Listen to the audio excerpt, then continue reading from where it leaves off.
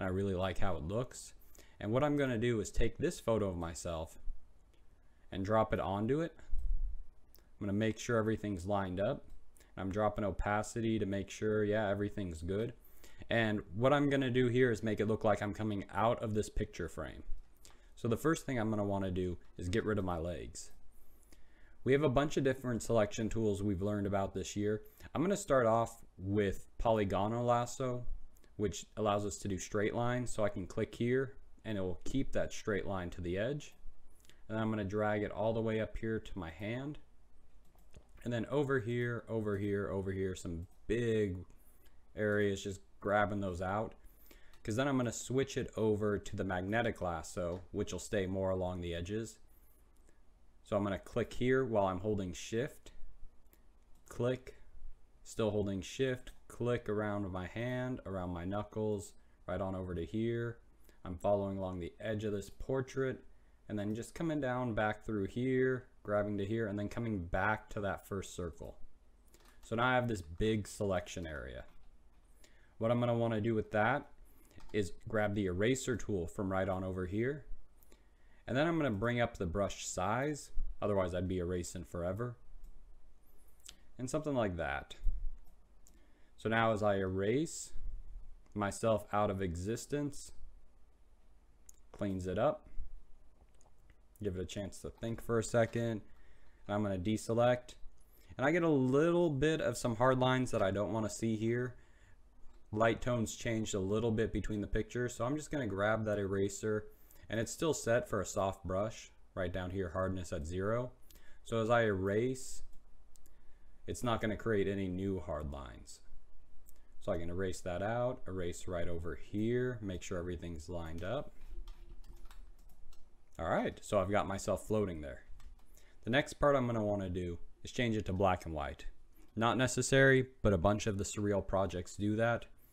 So I'm gonna take both layers and merge them down by right clicking here and merge. Then I'm going image, adjustment, and gradient map. Right now it's set off the black and the maroon for the colors that I had there, but I'm gonna wanna switch this to white. So I just double clicked on it drag it up to white. And the reason why I'm doing this instead of just dropping saturation down is I want to have a little bit more control of my tones. So if I bring this black over, things get darker. Bring the white over, whites get brighter.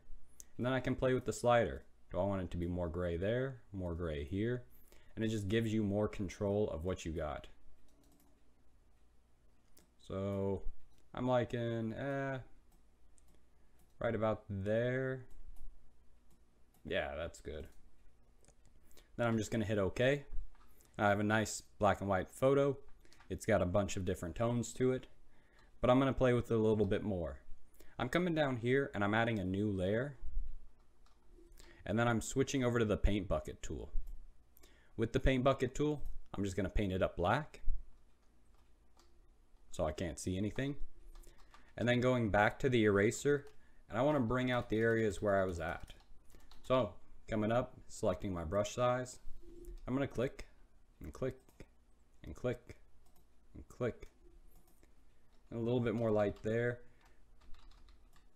Let's lighten me up just a little bit, but I want to keep that kind of dark, shadowy, dreamlike look. So I've got a couple images there. That's only two. With this project, we have to use at least three. And I've got a creepy hand here.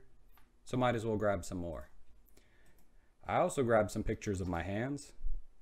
And with these, all I'm gonna do, because it's against the white background, is image, select, select subject, and it's gonna think for a second, and another, and it's selected my hand out. Then when I grab this, I can drag it right on over here, and drop it in. I'm going to do the same thing, image adjustment, gradient map. Again, switching this back to black and white instead of that maroon. I'm to make it a little bit darker, a little bit brighter, way more dark. Oh, drop the black out, way more darker. So I have some shadow hands. And then what I'm going to do is drag this layer beneath that vignette layer. So now it's just playing out there in the darkness. I'm gonna move it just slightly over. And then I'm gonna duplicate it, hitting Control J, or you can come here, right click and duplicate layer. And then I'm hitting Control T to transform it again. I'm gonna move this hand right on over here and drop it. And let's grab that other one as well. Control T to grab that one from the panel right here. Have it reaching out from up top. I'm gonna do that a few more times. One eternity later. Okay, and so all done with it. I've added up a bunch of different little hands all over the picture.